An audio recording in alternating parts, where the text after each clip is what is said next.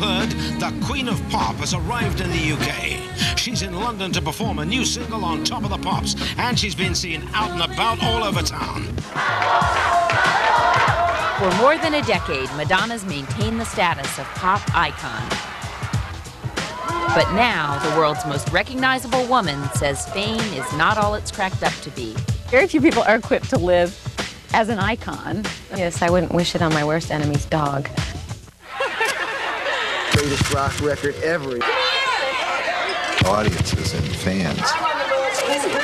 That record really meant a lot to me.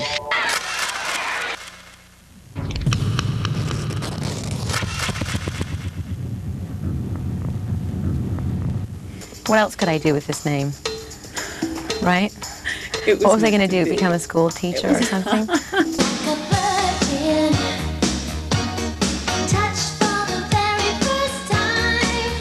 When she exploded onto the music scene with Like a Virgin back in 1984, few thought we would be recalling her name even a year later. And no one was predicting that she would sell 80 million records, head a company, and emerge as one of the most powerful figures in the entertainment industry. No one, that is, but Madonna. Back in 1983, while promoting her first record, Madonna told an interviewer her goal was to rule the world. Maybe she's fallen a bit short of that lofty objective, but she does command an empire that's landed her on the Forbes list of highest paid entertainers four years running.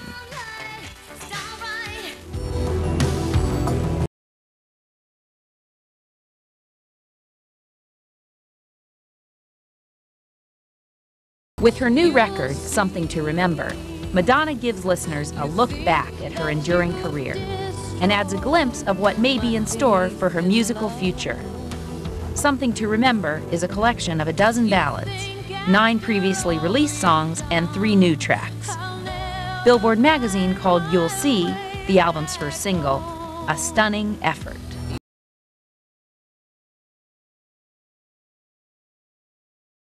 I think that my favorite songs that I've written,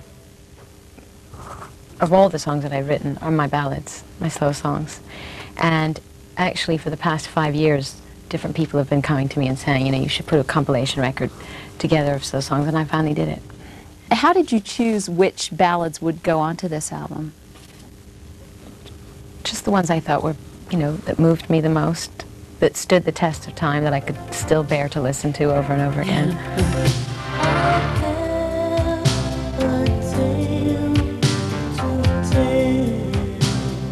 Reading through the lyrics of these ballads, uh, it's notable You've realized that me. I'm a manically depressed individual. Exactly. yes. and is that true? Well, off and on. Aren't you? Absolutely. Do you go to therapy for yours? Um, not as much as I should. I think most creative people are manically depressed. and do you think that the creativity comes out of the depression somewhat? I think you have to dig deep, and I think that pain is. Um, I think it's good to exercise your pain through your writing. Don't hold on to the past.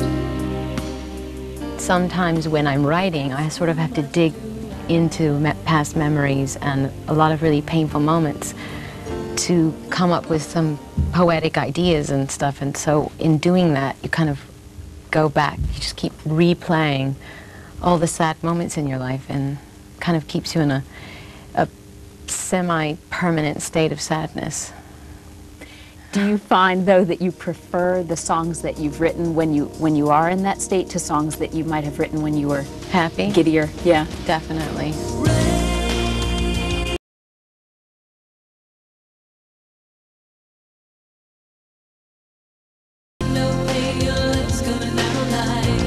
While Madonna may be best known for her dance tracks, it's her ballads that showcase her songwriting and exploit the lower, sultry range of her voice, a voice that over time has matured.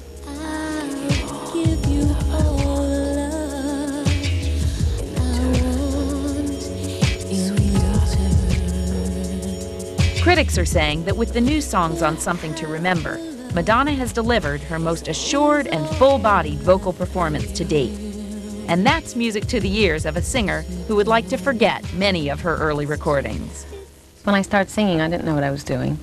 And I wasn't really using my voice completely, and I never had any training. So um, I think over the years I've learned how to use it. It's interesting that people, I think, have focused more on your more dance-oriented music in the past. Do you think that this is going to maybe change the way people think of you as a singer? Um, well, I think it's going to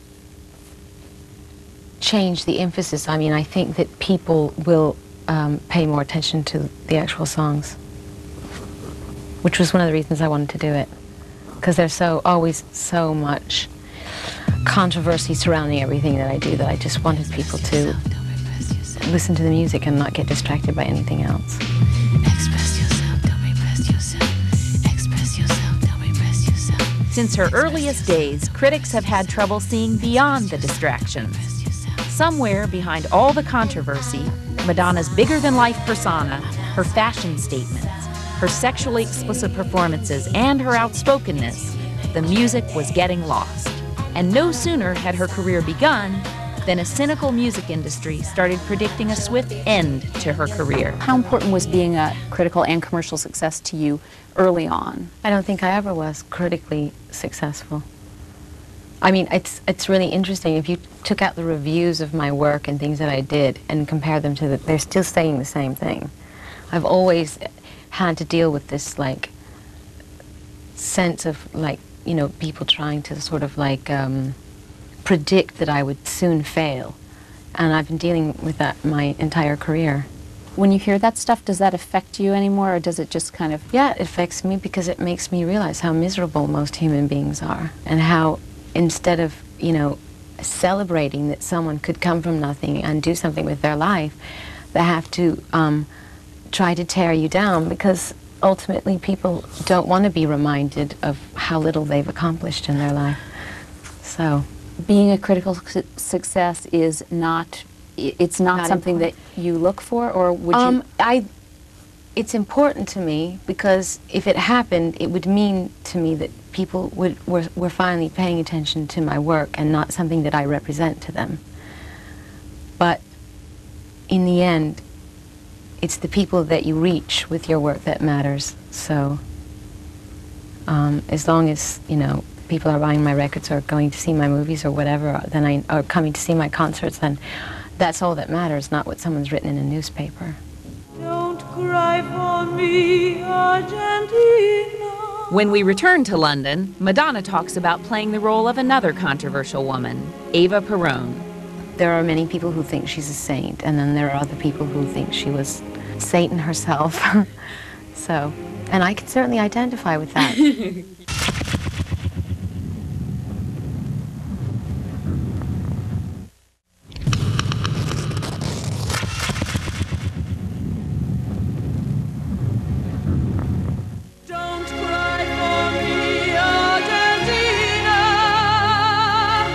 While in London, Madonna's main mission is to record the movie soundtrack to Evita for composer Andrew Lloyd Webber. Filming is scheduled to begin in January. The coveted role of Eva Perón, the determined seductress who became Argentina's first lady and most powerful political figure, has been bouncing around Hollywood for years. Since the idea for the movie first surfaced, Madonna was reported to be in the running. Then it was rumored Meryl Streep had landed the part, and then Michelle Pfeiffer was said to have a deal. But Madonna was passionate about playing Evita, and in the end, she got the job. it was meant to be mine, and everything happens for a reason. And um, when it came back around the third time, I said, okay, I'm supposed to be doing this movie. Because it was really hard for me to decide to do it, because I had to cancel doing a tour and, and a lot of things to promote my last album. And I had to give a lot of things up. And I thought, if it has come back to me the third time, it means I'm supposed to do it. What is it about her story that uh, that's so appealing to you? I think that it's extremely unusual for a woman in a Latin country to have that kind of power, the kind of power that she did have. I mean, women, well, let's face it, you know, we, don't, we won't go into that. But I mean, she was more powerful than her husband. And Latin countries are traditionally incredibly chauvinistic. So that in itself is interesting to me. But what she achieved is incredibly interesting because she came from nothing and she managed to go from nothing to this incredibly powerful woman who had such an influence on her country and world politics too. And that is such an amazing story, I think. And, um, and also the controversy because you either, if you know anything about her, you either hate her or, or you love her. And if you go to Argentina, you'll get really extreme reactions. And I love that. And, and there are many people who think she's a saint, and then there are other people who think she was um, Satan herself. so, and I can certainly identify with that. you can relate. yeah. When you're uh, working in a film, uh, obviously the director in that case is the one with the overall vision that, that you are part of. Is that does that feel odd to you to not be the one with the final say? Yes. Yeah. Is it is You it have to be very submissive to be an actor or an actress. Um, and um, in, it, it's frustrating in that no matter what you do, someone else, it's someone else's vision, and, and someone else decides ultimately what, what is left, and, and they can completely shape or destroy your performance. Um, therefore, it is a very good reason to only work with people that you really, really trust. Um, and I've certainly learned that through several mistakes. But that's how you learn. in some ways is it a relief to not be the, the final say and not be the one in control? No. No. Uh, you prefer to be in control. It's not about preferring to be in control. It's just that I'm so used to in my work having a vision or a dream and, you know, choosing things and, and you know, saying, you know, that's, that's great and that's great and let's do this and let's do that. And it's really hard for me. I mean, it's not so hard that I'm like, you know, gritting my teeth or something. It's just, it's just unusual to, to like go, oh, I'm not in that decision-making process. Oh, I have no say in that. And, you know, so it's um, frustrating. Madonna returns to theaters Christmas Day as the glamorous witch Elizabeth in the new film Four Rooms. It's her 13th feature film role. But unlike the success she's enjoyed with music, Madonna has yet to truly make it on the big screen.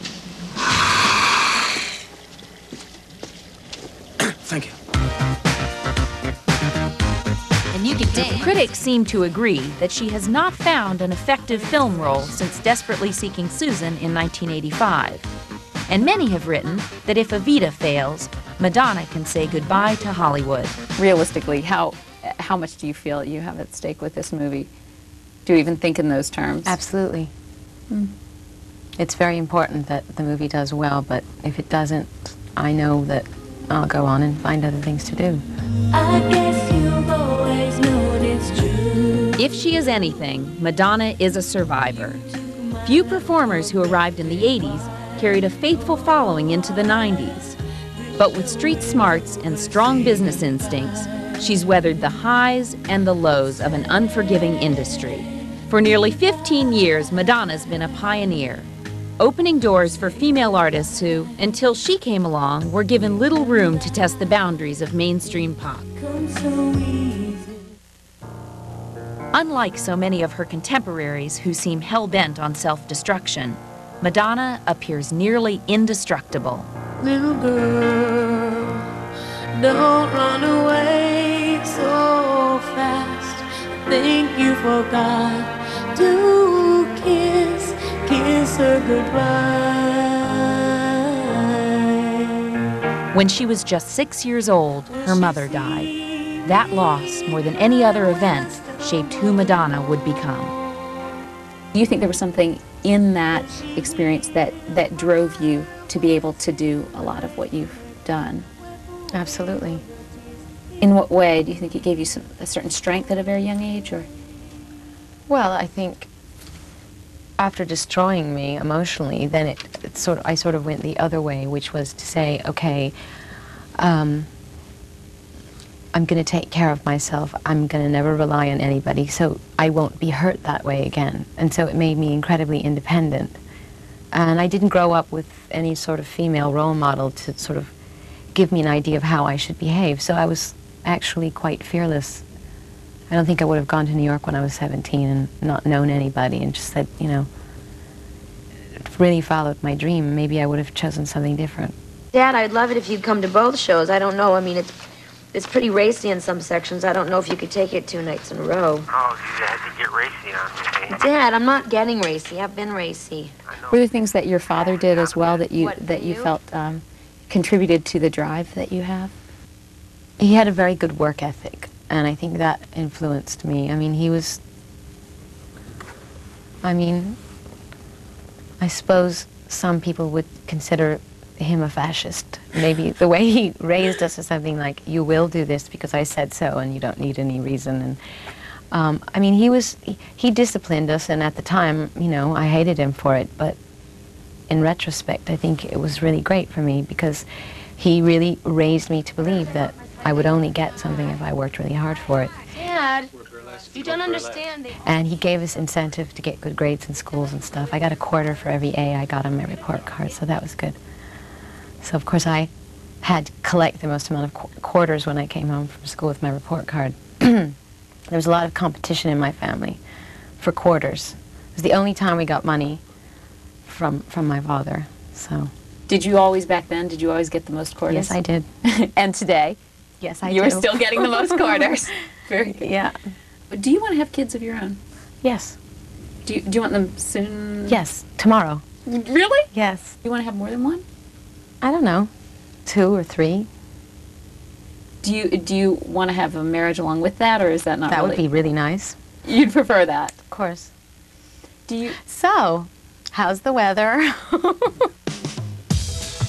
For a woman who has played out so much of her personal life in public, Madonna is quick to change the subject if she suspects the next question concerns her love life. Just as quickly, however, she'll tackle more serious topics head on. In terms of having kids, would you raise your kids with religion? yes. As sexist and patriarchal, you know, as Catholicism is, I, th- I think it still had a, a good effect on me in, in many ways. And it made me ask a lot of questions. So, and, and I think rituals, I mean, the discipline of going to church and rituals, things like that are good for people, whether you end up doing it later on in your life or not. Still, it's good. How would you talk to your own kids about about sex Well, very honestly. from day one? Absolutely. Yeah. Because ultimately they're going to get some wrong information from somebody else before I get to them, and it's really stupid to wait. I mean, people think that children don't pay attention to things when they're five. They they see and hear everything. Do you subscribe to the theory that everybody is born bisexual, or do you think that sexuality is something that's that's learned? I don't have the answer to that. I'm in Oh. the dark there. I have another one on that. But I think whatever it is, you know, that we should always that we should embrace it, and and- and never make ourselves or other people feel ashamed, whatever it is. Why do you think that everyone seems to love speculating about uh, two women having sex, but the idea of two men having sex is still such an abhorrent idea to so many people?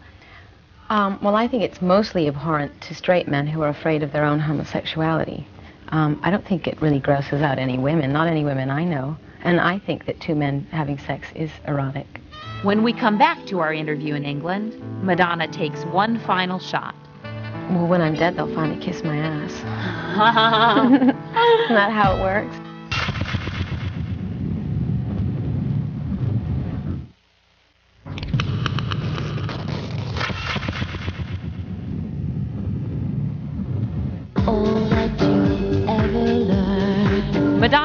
Always surprised.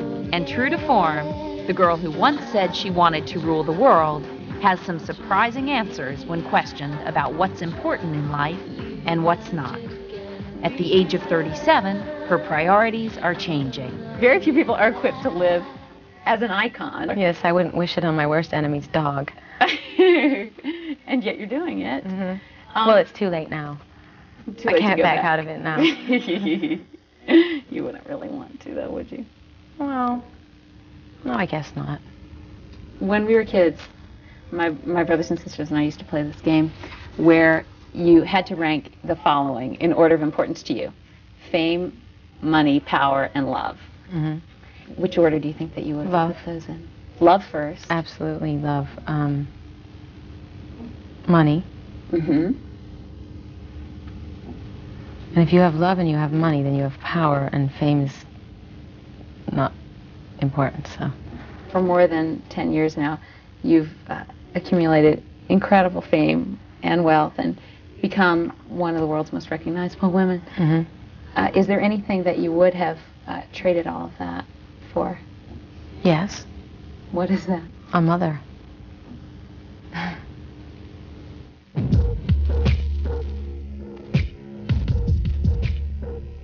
Throughout her long career, she has remained unpredictable. Even in death, Madonna plans on having the last laugh. Well, when I'm dead, they'll finally kiss my ass. Isn't that how it works? when Marilyn Monroe was alive, they were so vicious and cruel to her. They ripped her to shreds. They wouldn't give it up to her in any way, shape, or form. And then when she died, it was just like, oh, she's a comedic genius. I mean, excuse me. I mean, they do that to everybody. They did it to Vincent van Gogh. They, they, I mean, it's history just repeats itself over and over again that way.